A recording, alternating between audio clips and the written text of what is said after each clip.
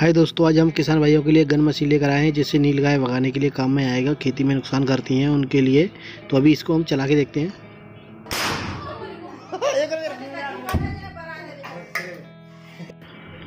यह दोस्तों मशीन बनाने का सामान, गन मशीन, जो कि अभी हमने दिखाया था किसान भाइयों के लिए। तो ये हमने एक पाइप लिया है चार इंची का, वो एक फिट का है। और जो दो इंची का पाइप है, वो हमारा डेढ़ फट का है। और ये पीछे से कैप में हॉल किया है।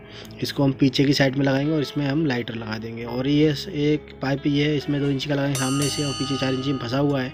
इन, इनको हमको अच्छी तरह से दो दोस्तों जॉइंट करना है, जो कि इसके अंदर जो कार्बाइड होता है उसको डालने से और पानी डालने की सहायता से जो होता है तो इसमें हम लगा देंगे ये लाइटर। और जब लाइटर का स्पायरिंग होगा तो उससे इसमें होगा ब्लास्ट। तो उसका प्रेशर बहुत रहता है तो प्रेशर आगे पीछे ना निकले ये ढक्कन, इनको अच्छी तरह से हम जॉइंट करेंगे। चाहे किसी से भी करें, इसका पाइप जॉइंट करने वाला भी एक आता है, पेस्ट जैसा सोल्यूशन और फेविको की मदद से भी करेंगे, उसमें पेच वगैरह भी खस देंगे। तो इससे आगे पीछे से कहीं से निकले ना। और दोस्तों, इसको बहुत सावधानी से चलाना है। और बंदर वगैरह भगाने के लिए भी ये अच्छा है, इसको बंदर एक बार देखेगा, भाग जाएगा। इसकी आवाज़ बहुत तेज़ होती है और इसको बहुत सावधानी से चलाना है। ये हमारी गन मशीन बन तैयार हो जाती है। तो इसी बात का हमको ध्यान रखना है दोस्तों, इसमें लापरवाही नहीं करना है और अच्छी तरह से जॉइंट करना है। तो ये ऐसे जो अभी दिख रहा है आपके सामने, ऐसे ही और इसको हम चला के दिखाएँगे। उसमें सही मात्रा में हमको कार्बाइड लेना है, ज़्यादा नहीं। और जो कि हम बताएँगे अभी, ये हमारे हाथ में गन मशीन इसमें हम कार्बाइड ये कार्बाइड है, जो फल वगैरह पकाने के लिए आता है और गैस वेंडिंग वालों के पास मिल जाता है सही से।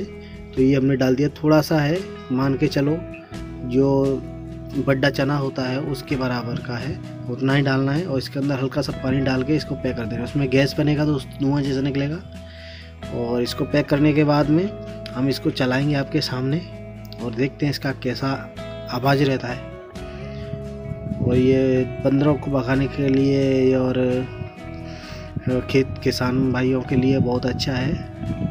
तो अभी हम